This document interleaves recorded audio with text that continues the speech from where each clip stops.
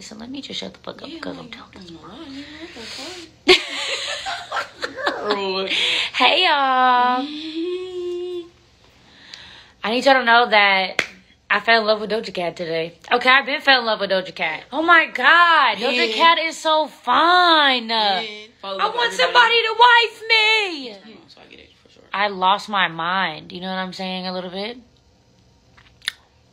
Bitch in love. Okay.